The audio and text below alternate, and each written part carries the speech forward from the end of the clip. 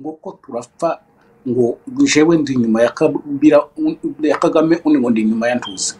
Byerekana levo yo hasi cyane turimo. Yo hasi cyane yo hasi ko turi barakurikira gusa turi abantu batekereza kuko abo bantu abo bantu batekereza bafata umwanya mu by'ukuri answa twirwaneho ubwayo. Jewe ndayivuga ni abagabo n'intwari bakoze ibintu bikomeye ku bwoko. Intwirwano ubwayo ariko iyo bari kubarijana cyangwa se abantu bayiyobora. Bari muri uyu mutwe. Kubera ko igumi na yo itabarizwa muri iyi muri ibi ngibi. Nicyo gitangaje gumino ntayibaho gumino ni ni abantu nk'abangahe n'izina n'icuka kibaho. Hariho za soko y'imirongo itatu hariho za soko y'imirongo ingahe ugeze kuri iyo. N'izindi n'izindi bikoresho. Rero kagame arabizi. Ibyo kagame jewe ntekereza.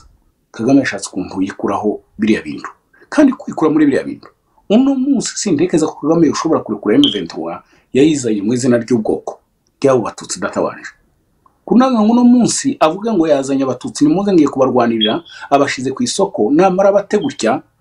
Ni bashyiraho umututsi ati ba bandi perezida kisegeti yise ko ari abayemfiritire ati kisegeti yaravuze ati aba bayemfiritire ati ah, bari mu guhunga baja muri M23 atabona abanyamurenge ati kandi turimo kugenda tubakuramo umwe umwe. Atabona abanyamurenge avuga. Aba infiltre kisegeti yavugaga ni byo byo koko nawe urahamanya n'ibi ngibi? Mahoro yandika ati ni abanyamurenge. Yahoze avuga ko ari bo ari bo yaza avuga ko ari cyangwa bagasohora undi mukongomani umwe agapfa. Ati muzambona. Mu gihe bafashe imihana myinshi mu gihe hari hashize iminsi bamufatana imihana. Kubera iki? Abantu bashobora kuvuga ati iri ni iterabwoba ko atagize icyo akora muri iyo minsi ishize ubu nyine akaba hagiye kubivuga. Noneho izo mbaraga arazikura he? Gushyigikira ba mayimayi ndetse na bazarendo uyu munsi hakaba hari umusore w'umunyamurenge wishwe na mayimayi ubwo ni ukuvuga ngo kisegeti ni we uri kwica abantu kuko yavuze ko ashyigikiye mayimayi hariho za soko y'imirongo itatu hariho za soko y'imirongo ingahe ugeze kuri iyo. N'izindi n'izindi bikoresho. Rero kagame arabizi. Ibyo kagame jewe ntekereza kagame yashatse ukuntu yikuraho biriya bintu. Kandi kwikura muri biriya bintu. Uno munsi sintekereza ko kagame ushobora kurekura M23 yayizanye mu izina ry'ubwoko ry'abo batutsi databanje kunanga ngo uno munsi avuga ngo yazanye abatutsi nimuze ngiye kubarwanirira abashize ku isoko namara bate gutya ni ikibazo ibuhira tv gihari ibyo ni izi. N'indi nteruro iziyongera kuri cv ndi umukongomani murenge ku mutima. Ndashaka mani ibyo ubona si byo gukina.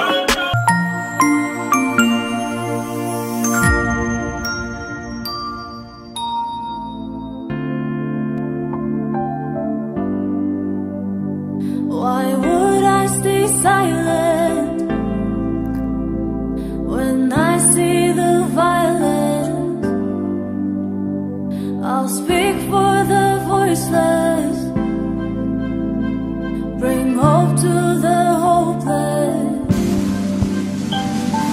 It's been too long, killings going on. What about human rights? Where is UN? Why all the people in power silent? Yet all our people Save our people. Save our children. Save our mothers. Save our sisters. Save our brothers. Save, save our fathers. Save, save our people. Save, save our friends. Anybody's got a brother. Anybody's got a father. Anybody's got a son.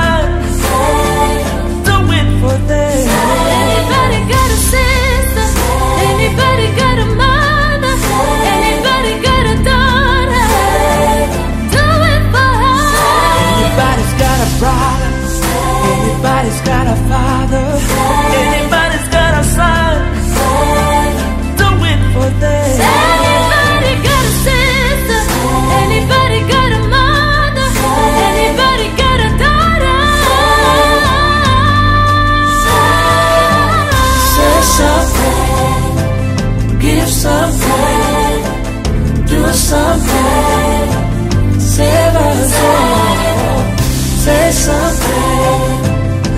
Do something.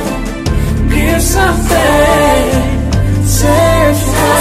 Our people. Save our children. Save our future.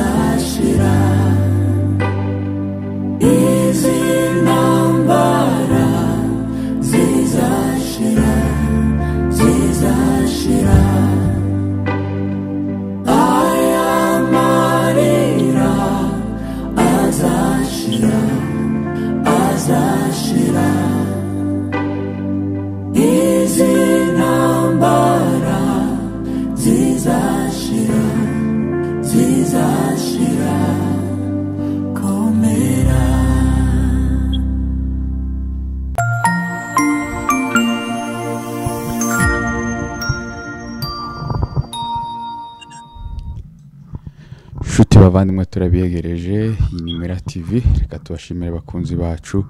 Mwe mudasiba gukurikirana ibiganiro byacu. Nk'ibisanzwe rero muri kumwe nanje maswizi aho tugiye kuganira n'umusesenguzi dusanzwe tuganira Fred Gakunzi. Niwe rero tugiye kuganira. Ushobora kuba hari abaje ubwa mbere reka wenda yivuge nimba ari cyo noba nasigaje. Ninde tugiye kuganira bwana Fred? Nyuma yaho hari ikindi kiba gihari Mm.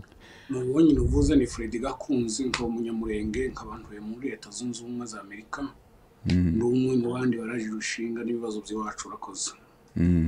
Urakoze cyane. Rero turahita twinjira mu byo tugiye kuganiraho nk'ibisanzwe ni ubusesenguzi cyangwa se niba bibera mu gihugu cyacu cya kongo tutiriwe tuja muri byinshi rero. Bwana fred reka dutangirire kuri speech ya nyakubahwa felix antoine kisegeti aho yatanze ah, avuga ati iwe agiye gusaba inteko ziwe zombi ku buryo ba- nibamwemerera azotera u rwanda. Aho yabivuganye n'umujinya mwinshi abantu benshi bagenda bavuga gutandukanye speech we wayakiriye gute bwana fred?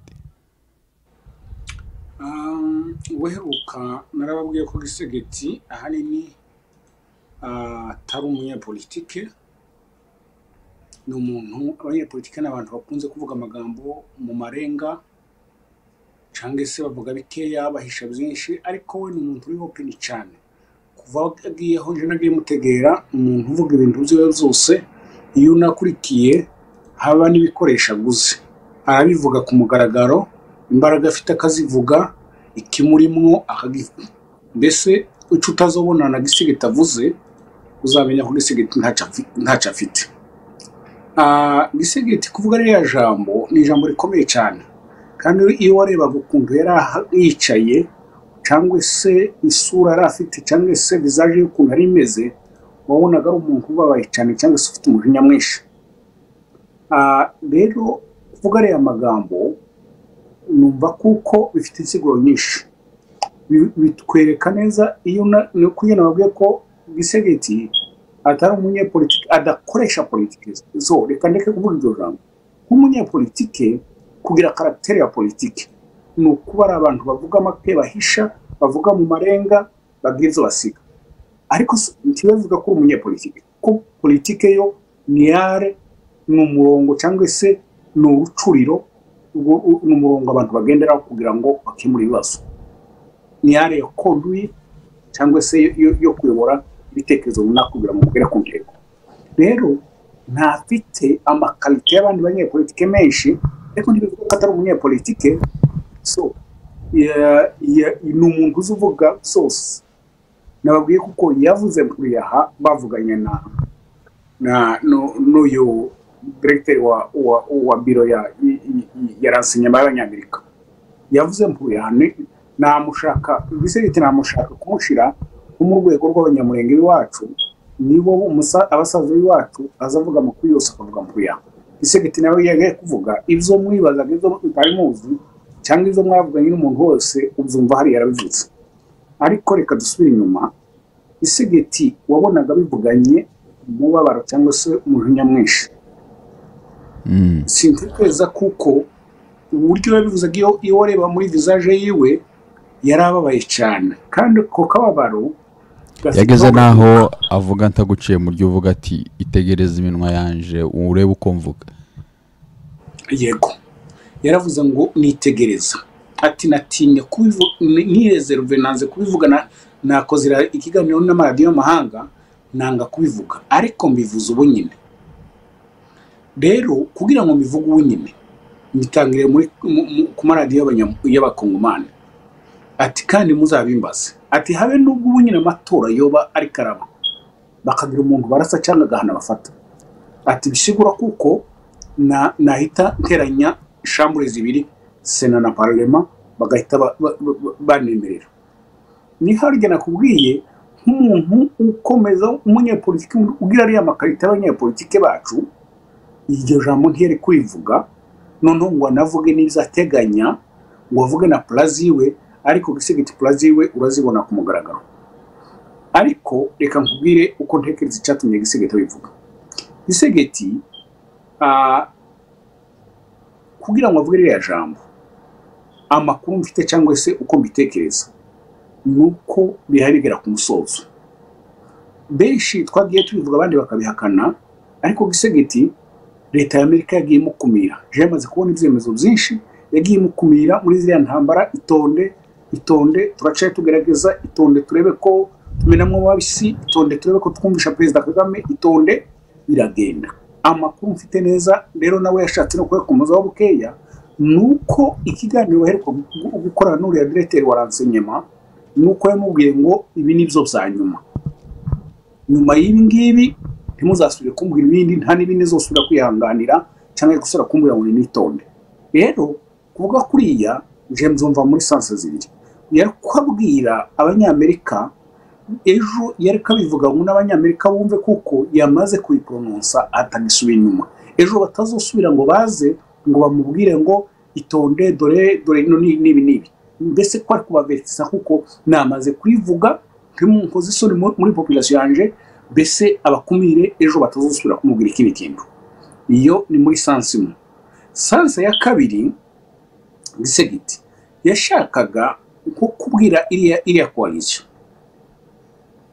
urabizi ni ikintu cyaje gisa n'aho kigiye gusa n'aho kigiye ku- kudesitarabi gitera ubwoba kongo kije ari ikindi kintu gishasha bari bamenyereye uriya mundo wa wa, wa, wa M23 ariko haje ikindi kintu noneho giye gusa naho kigiye kumobiriza abakongomani bose kandi iriya ntambara gisegeti yari yaramaze kuyi kuyiha umurongo muri diplomasi ayerekana neza kuko abakongomani nta kibazo bafitanye nabo afitanye ikibazo n'u Rwanda kandi u Rwanda ariko rufite iriya ntambara.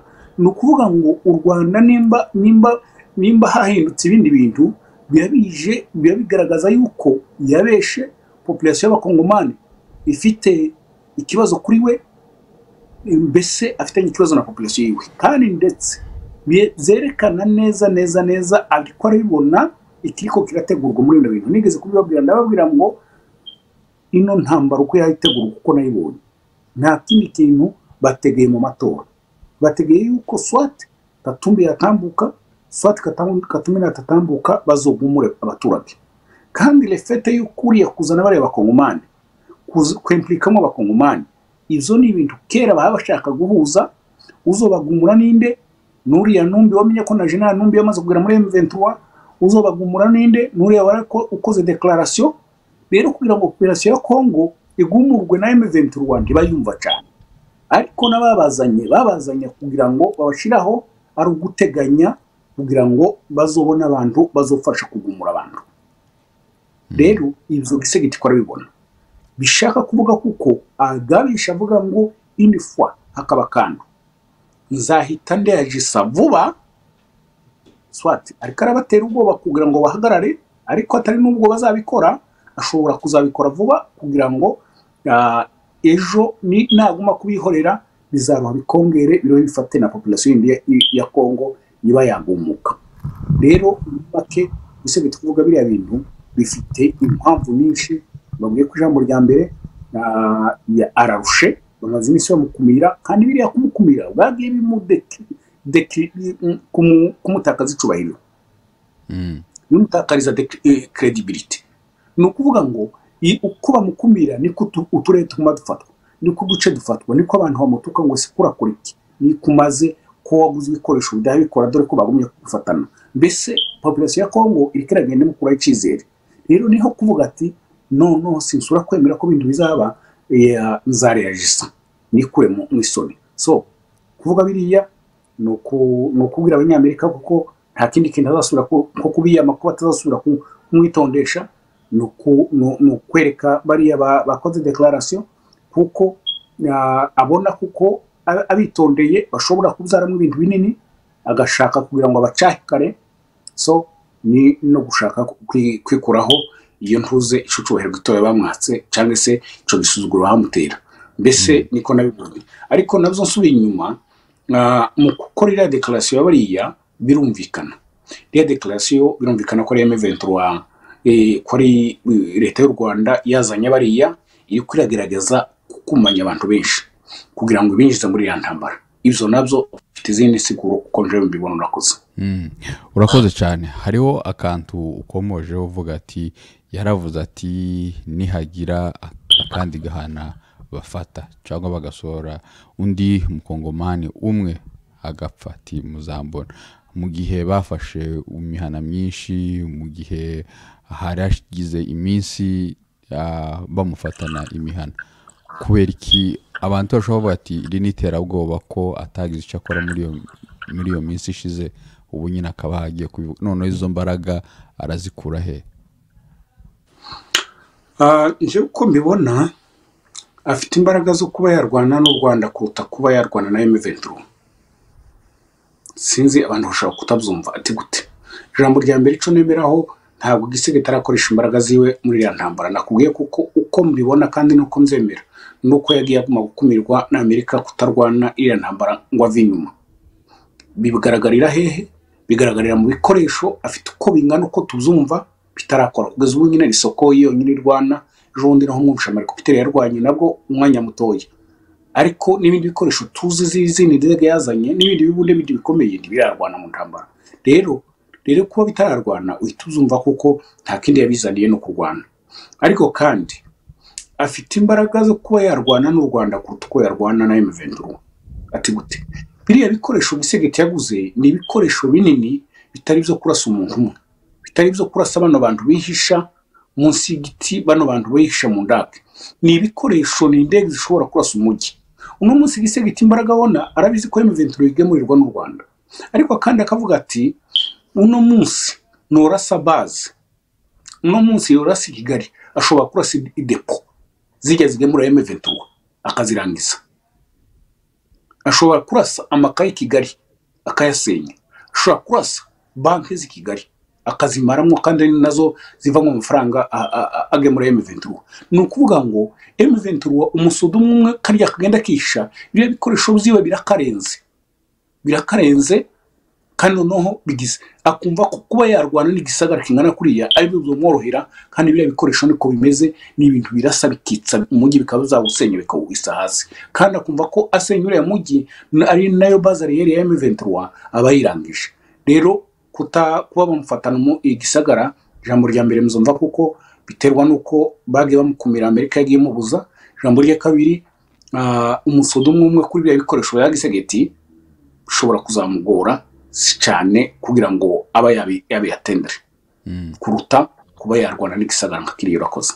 Mm, urakoze cyane. Hanyuma rero benshi bakavuga ati "Ah, uyu mugabo karigereranya. Igisoda cy'u rwanda ni igisoda cy'ubunyamwuga ndetse kigenda kinaja ah, mu bindi bihugu gutanga umusada. Ah, wageranya n'igisoda cya kongo gisa nkaho ari nk'icya mayibobo akavuga ati uyu mugabo agiye kwirahuriraho umuriro. So gutanga umusada byo ntibiravuga ko ari igisoda ko ari kiki ibyo byo biroroshe. Iyo abantu bagiye gutanga umusada babanza bagashyirwa muri foromasiyo bakabigisha bakabahugura. N'uno munsi igisirikare cya kongo ufata batayo ngo bayijane ahandi buwihugura kandi ikagenda kandi ikabikora. Kuko nta n'intambara barwana zikomeye yawogira ico co sico njyewe nuhagarariraho. Kandi igisirikare cya kongo cy'u rwanda. Njyewe ndacemera kuko ni abarita barita barapfa bagakomeza badivasinga ico mbona ico mbona uno munsi bawurwana nimba bigeze ahantu atekarara intambara. Uko bizogenda uko mbitekereza mu bwenge bwanje. Gisegeta azarasa kigali ayitse hasi. Aba afite amasitrategi ashobora kurasa perezidanse akarasa inzu zikomeye ziriya akarasa ibigo bya gisirikare akarasa amadepo mbese kigali akaba yayiharibisha. Ariko icyo gihe nawe kagame kubera umujinya yorekura ingabo zikaza za divasinga zikaza za divasinga kugira ngo mu gihe gisegeta bari karasenya umujyi wa kigali bigashobora kuba divasinga nawe ukavuga woyifata nagoma woyifata ariko igihe indege zizogaruka ngo zizoze guhagarika iriya muvuma y'abasirikare. Ni ukuvuga ngo baba bashobora kuba bageze kure bafashe iriya migi ariko aho bahagarikira hose ninde uba watakaje? Kigali iba yatakaje kugira ngo ibyo bintu byasenyutse bizose byubakwe bikomeye. Wibuke ko kinshasa iba itekanye kapitale umujyi mukuru uba ukomeye kandi iyo icubatswe akitivite zose ziragenda. Ariko buriya kera baba baparanganije kigali habe n'ubwo bafata bukavu n'ubwo bafata goma. Nanone aho baha- bahagarikira hose. Ariko uba wamaze gutakaza cyane ni kigali. Urakoze cyane. Hanyuma kuba hariho iki cyama alliance fleuve congo. Iki cyama kihuri kirimo m23 ndetse n'abandi bakongomani ndetse harimo na twirwaneho twayibonyemo ndetse n'abandi bamwe ba, ba mayimayi iki iki cyama cyo wumva intego yacu ari iki? Abantu benshi babyumva gutandukanye dore ko turavuga vuba umwanya ni mutoya ariko jewe nta gishasha mbona muri kino cama nta kintu na kimwe abantu benshi ko barumva imbaraga bakumva ngo hari ikintu caje ngo gihindutse gikomeye jewe nta kintu mbona. Ico mbona gusa ni uburyo kagame aho ashaka kubyikuramo. Kagame yazanye M23 yibwira ko ari burya bisanzwe asanga uwabo muri diplomasi yaramudandaje asanga muri arume arakomeye ubu iyo gisegeta ataje kuba akomeye muri arume intambara iba igeze kure. Kandi gusigara kera bamaze gufata akarere basigara bakugondoza ngo nimuganire. Ariko umwaka urashize n'ibindi baracyari mu izoro rimwe n'igice. Rero ibyo intambara iramukomerana. Murumva amerika ukuntu igenda imushyiraho igitutu ibyo byose n'ubu yabategetse gusubira inyuma. Rero kagame ariko arabona intambara ko imwugarije noneho na sadek iri kwiraza na biriya bikoresho arabizi. Arabizi. Kugira ngo wumve ko ejo bundi noneho hagiye kuza isoko mirongo itanu na, gatatu. Kandi isoko mirongo itanu na gatatu usibye uburusiya buyifite nta kindi gihugu kiyifite. Nisha ubu nyine ibaza isoko mirongo ibiri na gatanu izo yakoze hariho za soko mirongo itatu hariho za soko mirongo ingahe ugeze kuri iyo. N'izindi n'izindi bikoresho. Rero kagame arabizi. Ibyo kagame jewe ntekereza. Kagame yashatse ukuntu yikuraho biriya bintu. Kandi kwikura muri biriya bintu.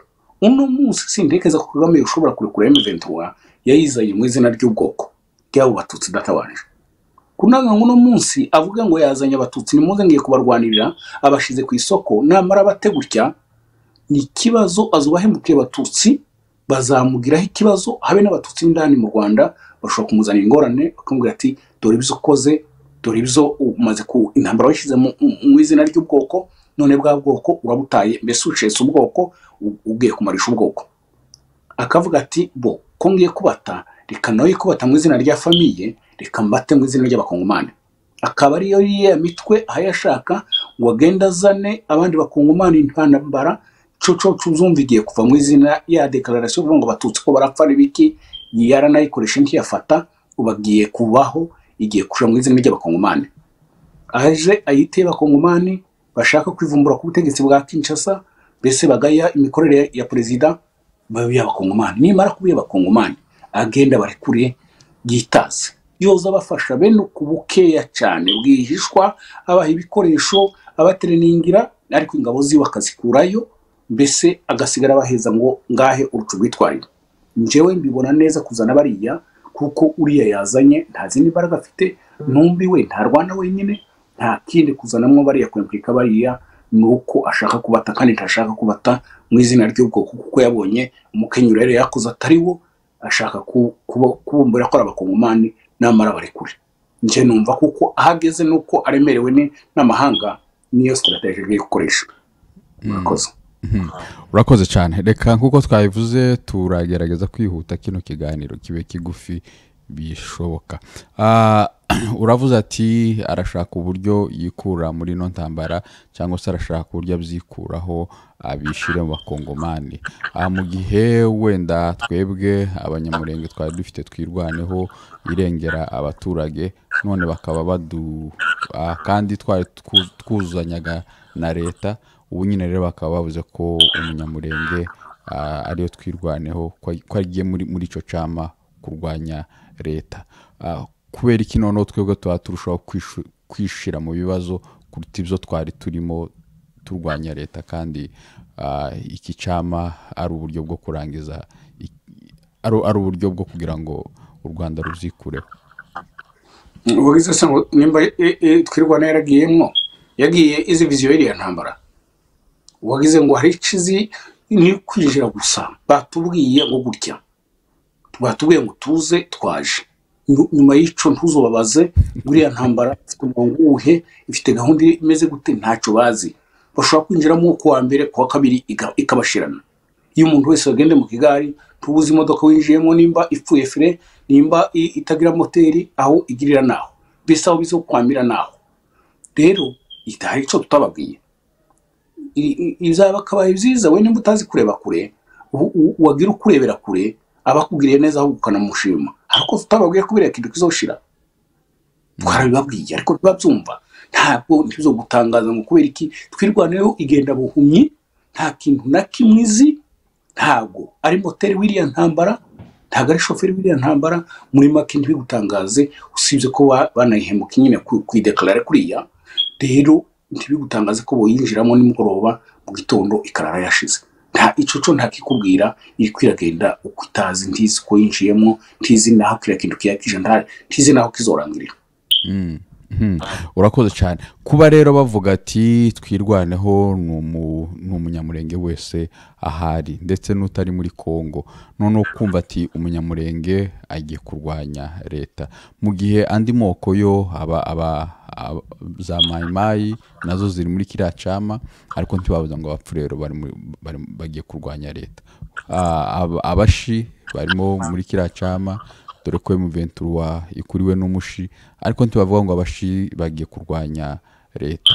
Ah, kubera iki twebwe twumva ko umunyamurenge ubwoko bw'abanyamurenge bugiye kurwanya leta? None se abanyamurenge ubona eh, kenshi hari umurongo tugira hari icyo dukora twabitekerejeho cyane uwo wavuze gutyo ni umunyamurenge kandi abanyamurenge turi abantu bakunde kujanwa n'amaemosiyo bajanwa n'amasantima bajanwa n'amarangamutima ni abantu badakunze kwicara ikintu ngo bagitekereze ubuzima bwacu narakubwiye ngo umurongo ubuzima bw'umunyamurenge bubayeho nko mu nzozi. N'uwo bivuze gutyo. N'ubu wanakwibaza ese uwo muntu abavuga gutyo niko aba agamije ese hari icyo bifasha kwitwa ko twese turi bari kwirwaneho hari icyo bimwongera mu ntambara yiwe afite? Muri sitarategi ziwe hari icyo byongeraho? Muri politiki hari icyo bifasha? Nta kintu na kimwe bifasha. Nta kintu bimwongera. Nta zindi mbaraga zimwongera. Ntabyo ariko agapfa kwivugira uko nyine. Rero ntamenye n'ingaruka ntaba narebye ko hari icyo bimwongera ntanebe ngo n'ingaruka biza kumutera. So abantu bavuga gutya niba abandi n'ubundi badushize mu ntambara mirongo icyenda n'umunani niba abandi badushize mu ntambara mutebutsi niba abandi sinotangara uno munsi ko barahubuka kuko ababa- ababa- ababa- ababagida ababa- ababayobora ni- ni- barangwa n'ubuhubutsi sinotangara uno munsi nimba umaze ubuzima bwawe bugizwe no guhubuka. Uno munsi wahubutse ngo bintangaze ibaza umuntu umuntu wakoze dekarasiyo intambara ya nonantuwiti yari intambara y'iki? Abantu abanyamurenge abasirikare buzuye igihugu bikamara ibihumbi by'abanyamurenge. Ntibizamu- ntibizamugira. Agakora intambara ya, mutebutsi dekarasiyo y'intambara ya mutebutsi. Agakurikira cndp agakurikira m23. None n'ibindi n'ibindi byagiye bibaho. Kurumva ko byotangara kugira. So simbona ko ari bafite simbona ko hari abantu batekereza bafite iyo urebye n'abayivugira n'abayiri imbere n'aba- n'abayigira iki mu by'ukuri answa twirwaneho ubwayo. Jewe ndayivuga ni abagabo n'intwari bakoze ibintu bikomeye ku bwoko. Intwirwano ubwayo. Ariko iyo bari barayijana cyangwa se abantu bayiyobora simbona ko harimo abagabo bayiyobora ngo bayijane mu nzira nziza cyangwa se bayitekerereze neza. Ndiko ndabona kuko yaba yari ibizi ko baba bayidekiribi kuyaka kredite yaba bari babizi ko ibyo bintu babikora. Twirwanira iyo bikuyeho. Twirwanira ifite amanota menshi yakamiye ubwoko ya- yarwaniye imihana ariko iyo bari kubarejana ko baragenda bayambura credibility. Rero simbona abo bantu batekereza ntabo nzi ari kinshasa nta muntu mbona ari kinshasa uvuga ngo ni umuvizionere utekereza neza. Simbona abana bari hano bayikomandinga abo abayikomandinga bose turabazi.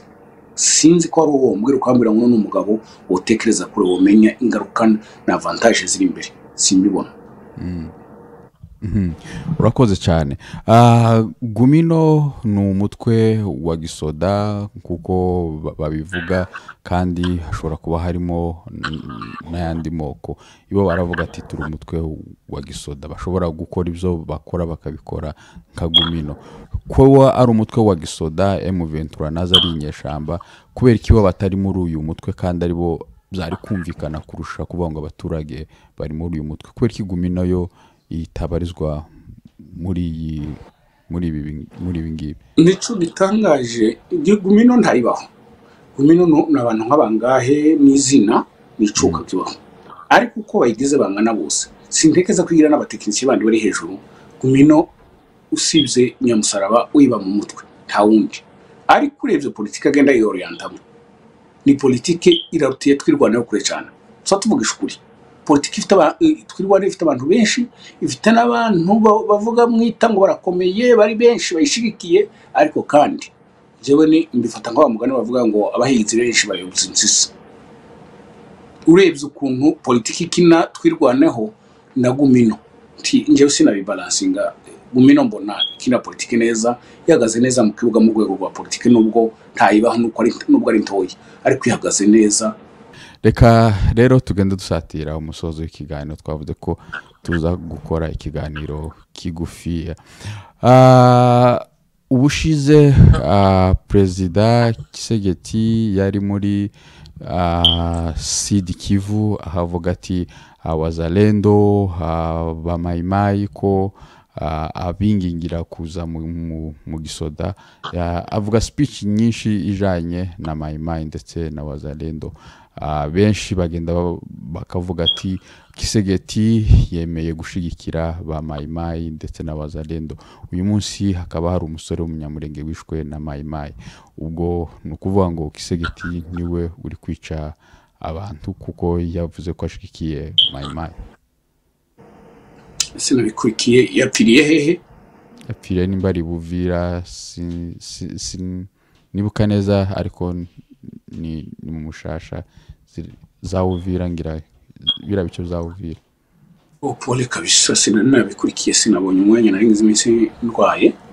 Ariko kandi kuba gusa hariho mayimayi ishobora kwica abanyamurenge. Ni ukuvuga ati ni aba- ni abambari ubwo mbi- Baciye. mbiheruka narababwiye narababwiye ngo ishusho y'umuntu uri mu matora ntiwoyimenya ntiwoyimenya ibizo ntibyo gutangaza ko ejo bundi yotambuka akibasira mayimayi akayirangiza akayikuraho. Igihe uri muri kampanye uba ufite yawe ishusho yindi yihariye yaba ishusho yo muri kampanye ariyo yabaga ishusho nyayo.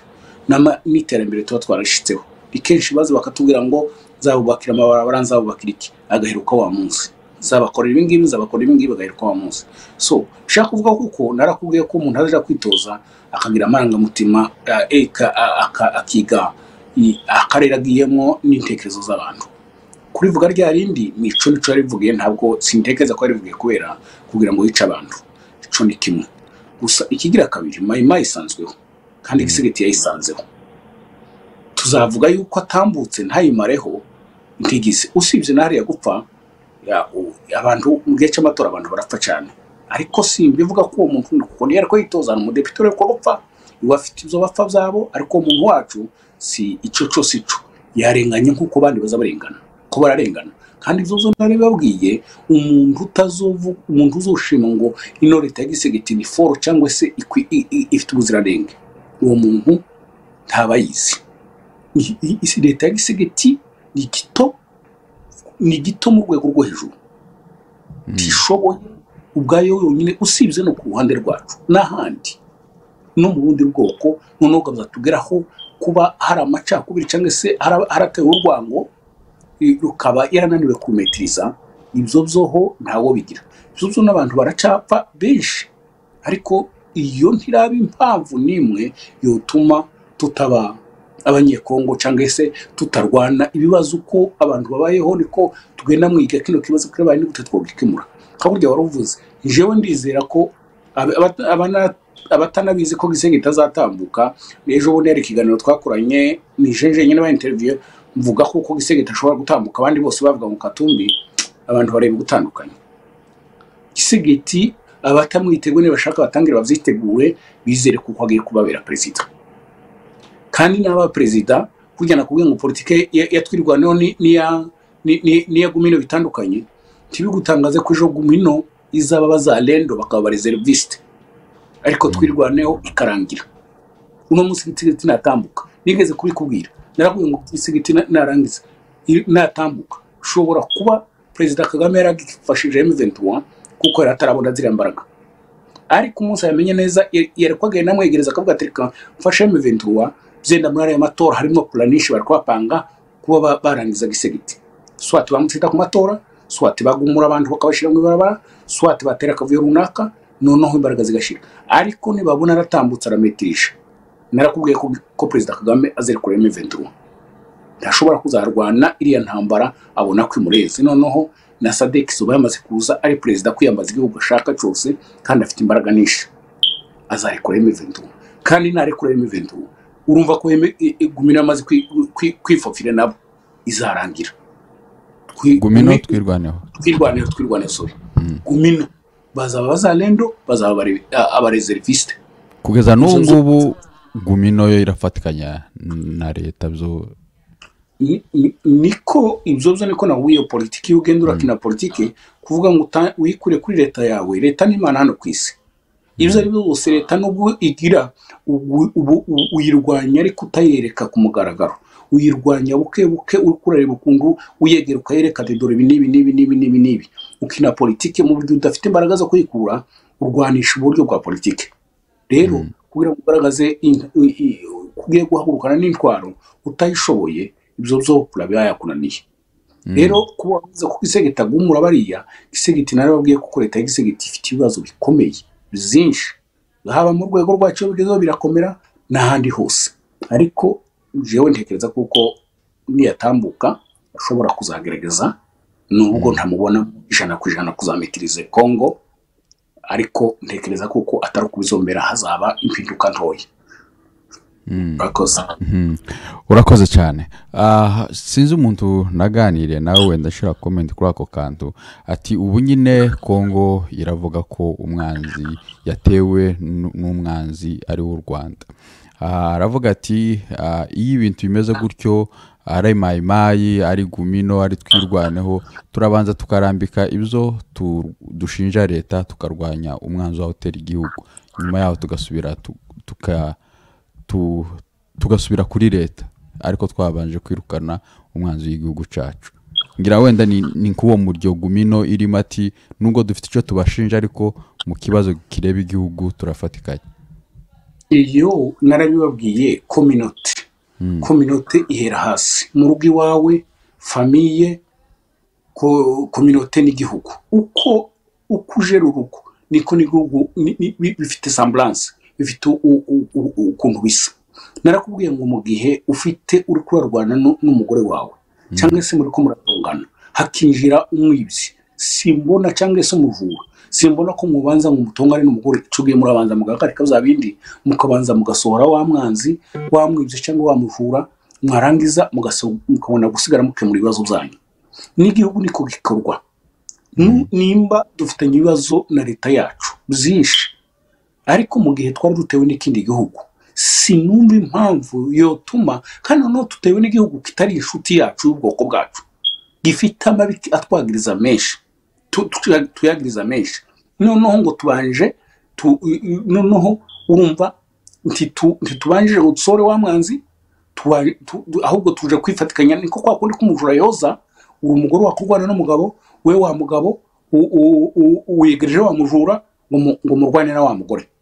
Urabyumva niko twagize. Kandi aho ngaho ntahuze ntibibaho ntibishoboka. Rero ibyo twari gukora twari kubanza ku- kwirukana uriya mujura ko atari na mwiza kuri twebwe nta n'icyiza tuzaniye twarangiza tukabona gukomeza ino ntambara yacu yo ino yacu na, kongo iyo niyo pula nziza niyo sitarateji nziza kandi noneho ntitunanayishoboye n'iya kongo nanababwiye ngo iyo tugira imbaraga iyo tugira igihugu kidufasha tuba twarwana ino ntambara ya kongo twari kwirwana ubutegetsi bwa kongo amabi eh, bufite harakwiriye kuba yarwanwa ariko ntazo dufite. Rero kuba wakwiringira imbaraga za M23 zo ni ukutareba kure ni ukubura impumyi ntazibaho nta uko M23 ashize ya mbere uko zo zijya zose zishira ry'amarebero n'ubundi niko n'indi igiye gushira. Rero jewe ko nibona ah, habe n'ibintu dufite by'amacakubiri. Hari umuntu umaze kubibwira mu mwanya mbona ko bisigaje ibihe bitoya. Bigiye kubwira ku ndunduro swat benshi bariko bapfa ngo tu- tugomba gushigikira kagame abandi tugomba gushigikira gisegeti ariko nanabwiye ngo iri jambo ni ubuswa buzandikwa mu bitabo bizaragwa abana bacu n'abuzukuru. Kugira ngo abanyamurenge ko turapfa gisegeti na, kagame ni ibintu bigaragaza ubuswa cyangwa levo nto y'ubwoko bwacu burimo. Kuko bombi ntitwakagombye kubapfa. Tubakurikiye amateka k'umunyamurenge ukurikiye amateka ya perezida kagame k'umunyamurenge nta muntu wumwitera ngo mwisunge ukurikiye amateka ya gisegeti nta muntu wumwitera. Rero uno munsi ko ducitsemo ngo ko turapfa gisegeti na, kagame ni ubuswa bu- bu- buheka. Rero ariko njyewe mbibona kuko iyi ntambara igiye kurangira cyangwa se amacakubiri yacu. Agati gute? Ndabona biri ko biragenda bigera ku- ku- ku iherezo swat gisegeti namara gutambuka akametiriza igihugu. M23 bizarangira. Nimara kurangira aba bantu bose bari bari inyuma si ukundi si ukuyiba inyuma ngo bari bayikunze mbese ni amizero bari bayifite n'ayo muhanuzi n'ibindi bari bazi ko ihetse isanduka bazomenya ko rya sanduka ntari gihari. Gihe bazicara bacisha hafi si bapfukame. Be- bapfukame bemere batwarwe na gisegeti. Ntibasigara batera n'imigeri barisigara imigeri y'ubusa gusa ariko itagifite amanyama. Ubwo kandi nimba gisegeti atanatsinze katumba gatambuka. Sibye ko bifite amazi- a- amanota izero ku icumi. I- natambuka katumbi. Aba nabo bari basigaye kisegeti. Eh, ico bari bishingikirije naco kizashira. Baza- baza- bazagabanya amanyama bike hasi bemere bavuga ngo turatsinzwe kibu nico nsaba ubwoko bwacu nta ni gutsindwa nta ni gutsinda guhari.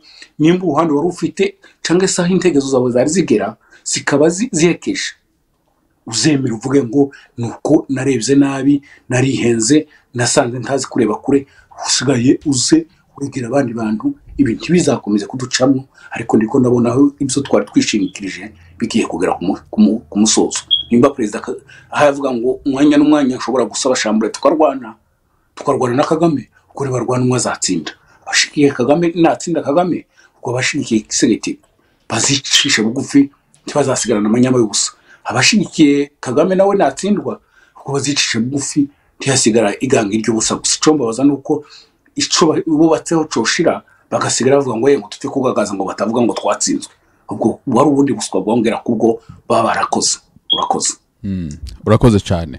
Ah, hanyuma nabonye tweet ya mahoro peace association aho bamaganaga uru rupfu rw'uyu musore ah, mayimayi yishe Ah, bati ah, bish- bishwe na wa bazarendo wa ba perezida kisegeti bamare bishwe n'umunyamurenge bashyiraho slash bashyiraho umututsi.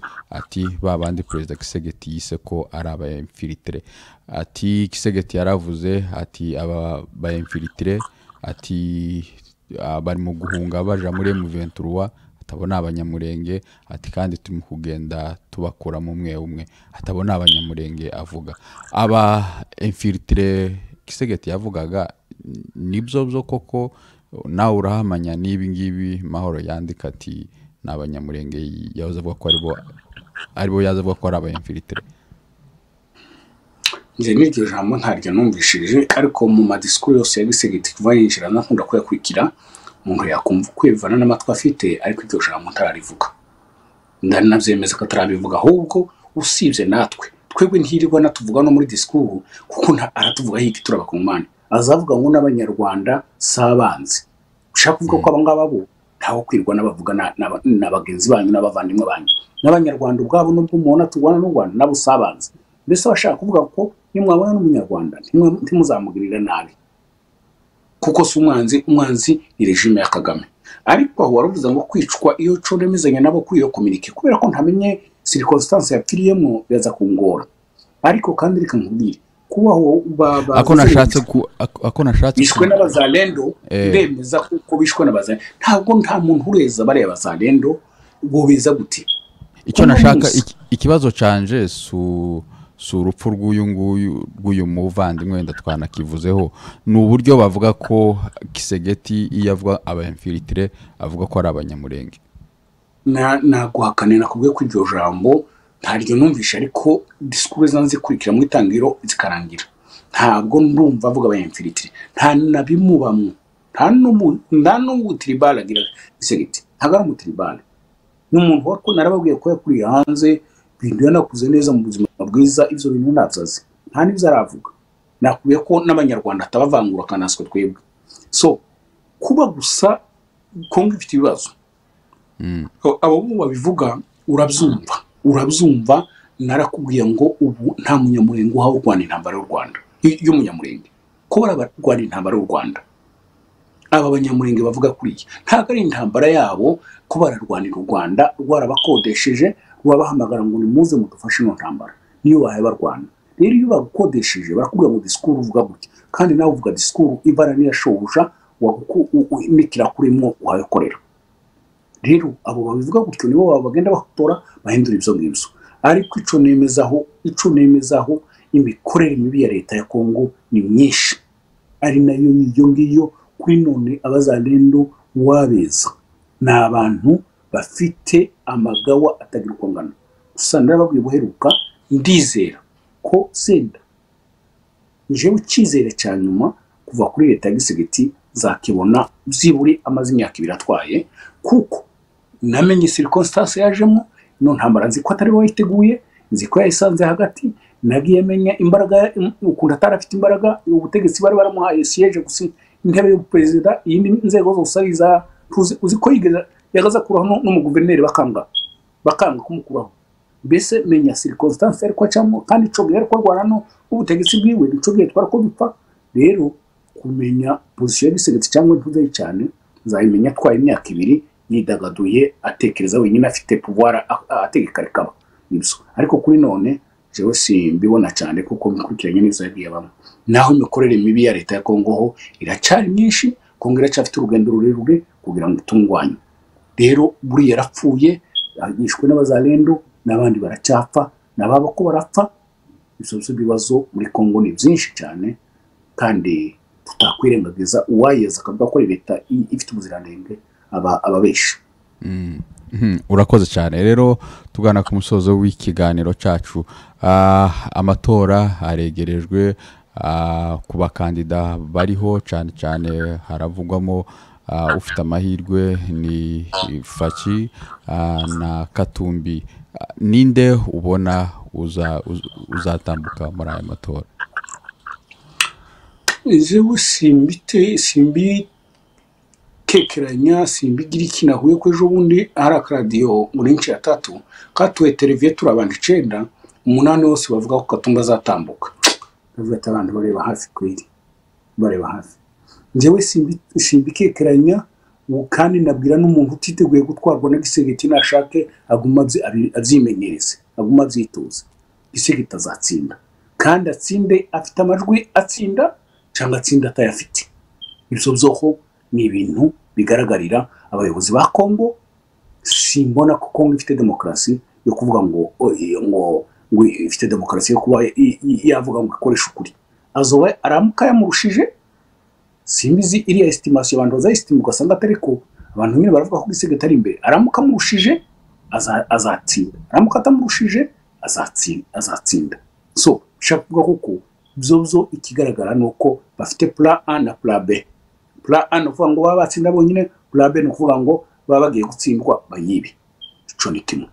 Sinzi ko wategereye ijambo rya rya duriya minisitiri wa defense jean pierre bemba? Yagabishije katumbi.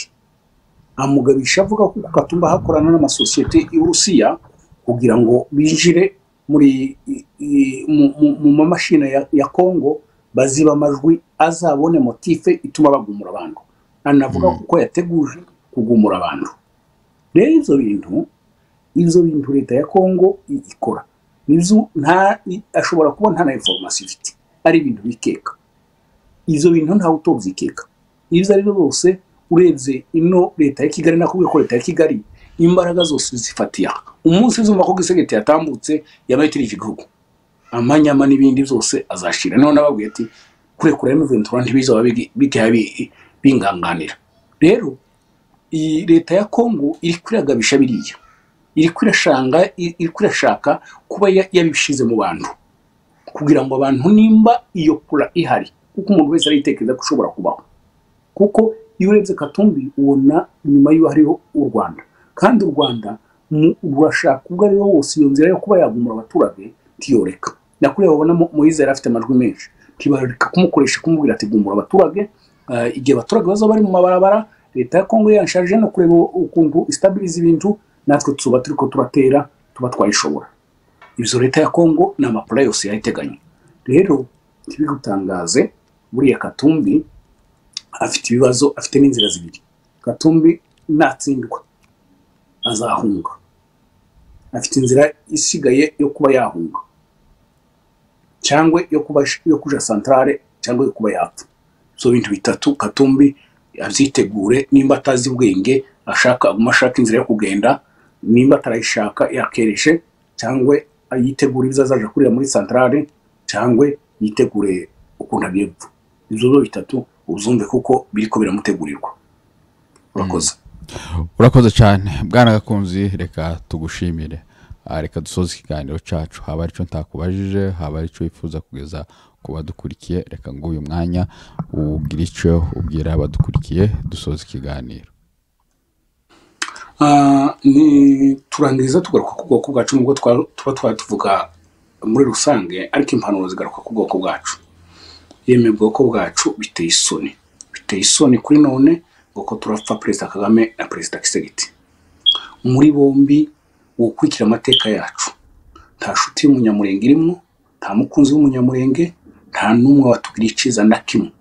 Ahubwo tugiye muri sanse negative dusanga ni perezida kagame ni we muntu wasenye ubwoko bw'abanyamurenge ni we watwishe ni we waduteye amacakubiri ni we watwangaje ni we waduhinduye imfubyi ni we wadukenesheje ni we wadusuzugurishije wasubira mu mateka ya gisegeti yarashe- yarajejwe kurinda abaturage cyo kimwe yiyerekerayo a- arisamarisha n'ubu akaba akomeje gusamara ubwoko bwacu buhaba bupfa bufite ibyago bingana gutya. Rero kuri uno munsi ngo ko turapfa ngo jewe ndi inyuma ya kagame undi ngo ndi inyuma ya ntuzi byerekana level yo hasi cyane turimo. Yo hasi cyane yo hasi ko turi barakurikira gusa turi abantu batekereza kuko abo bantu abo bantu batekereza bafata umwanya ntabo gukurikira abo bantu bombi. Nakubwiye mu bwacu turi abantu bajanwa turi byarukurikira gusa turi abantu bagira cyane gutekereza cyangwa se gufata pura y'urugendo wafashe igakeye rero ibyo bintu biteye isoni. Nibuka ko hari igihe kizagera iki gihe tukacibuka iki gihe twatakaje ibi bihe bibi twishizemo bikadutera isoni kuzoza tubibwira abandi cyangwa aya mateka tugashaka ukuntu tuyafuta tutakiyafuza. Icyo ni kimwe. Ikigira kabiri nababwiye kuko ibi dufatiyeho bigiye bi- bigiye kudadanuka. Swati ugiye gutsinda agiye gutsinda uwo wari washigikiye. Rero uruhande rwawe warushigikiye cyangwa aho viziyo zawe zari zigeze cyangwa amizero yawe aho yari ageze narangira. Izuba ari ugukoziyo nziza yo kuza guhura n'abandi ari bariya ba- bashigikiye uzatsinda ntibazikubita ku gatuza ngo bavuge ngo wa reka mubone ngo ubi- ubi- ngo ube inshuro nawe wari wakadiriye nimba waragize impanuka ukadiriye ugasanga kukadiriya kwawe niko kwabaye kwiza ni amahirwe Ah, ari uyu nguyu wari wizeye ikintu shamara ntigi- nti- nti- ntigifawuru kiga- ki- kiga- kigaferinga nta soni zihari nta kwigagaza umuturage umuswa uheka. Niwe iyo ikintu kirangiye apfa kuvuga ngo ndapfa kukagika. Kugagika kugupfa kukagika. Manake kugagika ni ukuba uhagaze ahantu udafite icyo wishingikirije udafite icyo uhagazeho udafite impamvu. Rero ntituzokomeze kugenda tumanuka abandi ko baragenda batera imbere nimba impamvu wari wishingikirijeho zitagihari nimba icyo wari wizeye kitagihari uzemere uze wegera abandi. Nifuza kuko kandi jewe bitera icyizere cyane kuko tugiye kuzahura. Nimba turi abantu batekereza nimba turi abantu batekereza bukeya kuko tuza gutekereza kwinshi ntitari- ntitwari gutandukana. Iyo tuza gutekereza cyane ntitwari gutandukana. Ariko gukeya gusigaye k'umuntu uciriritse harageze aho duhura. Murakoze. Urakoze cyane.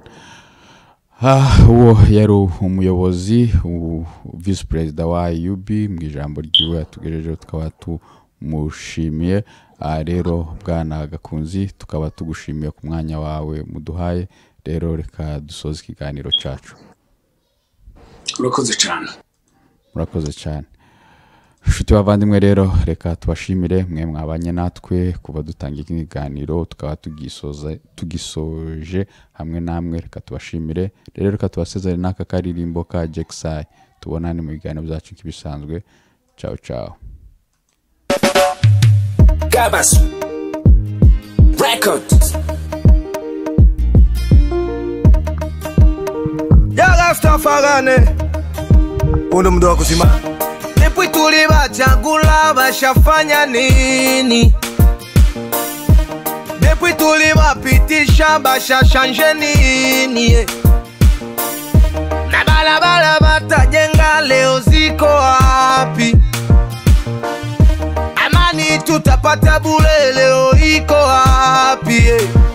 eh, mabalabala za bosawise na tukiseme na kuwa dosie Utasikia kesho ni kesi eti natafutwa e, e.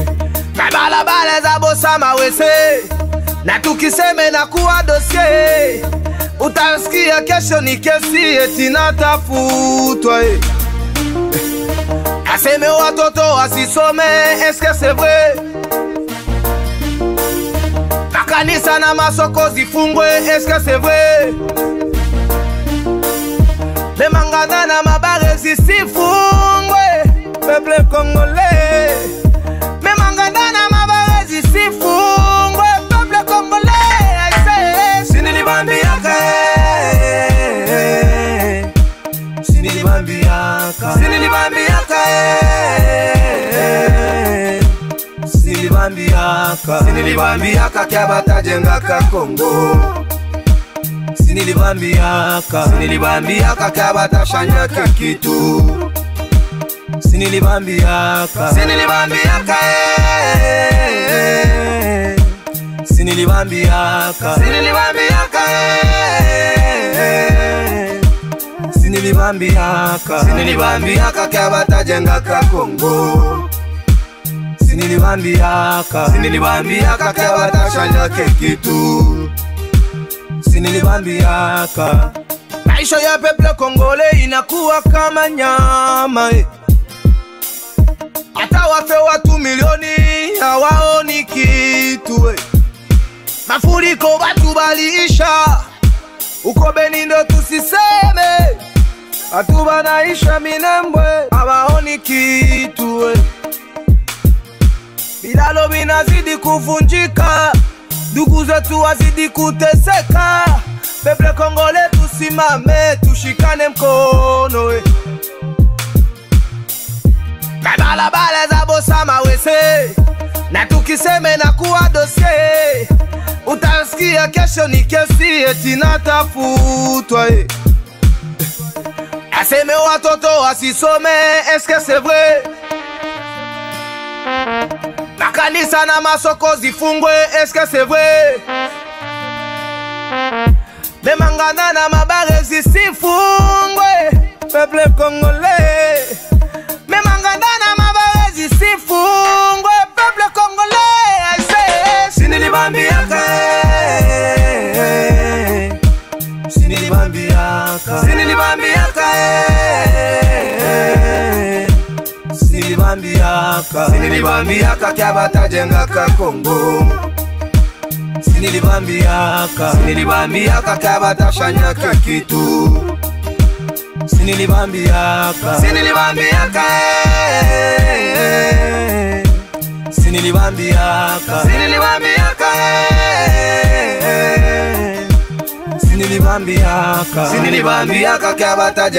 Kongo sinilibambia ka sinilibambia kaka watashanja